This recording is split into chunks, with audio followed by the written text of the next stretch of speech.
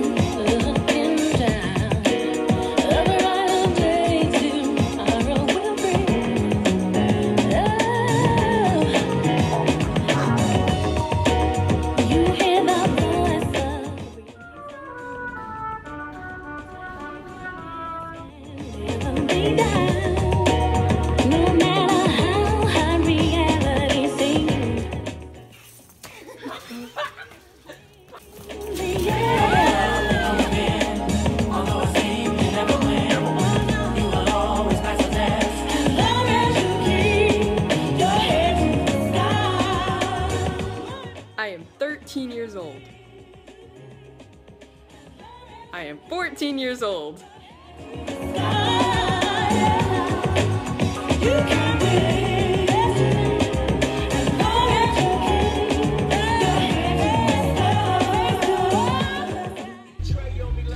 Gracie are just getting back from the best tennis match ever.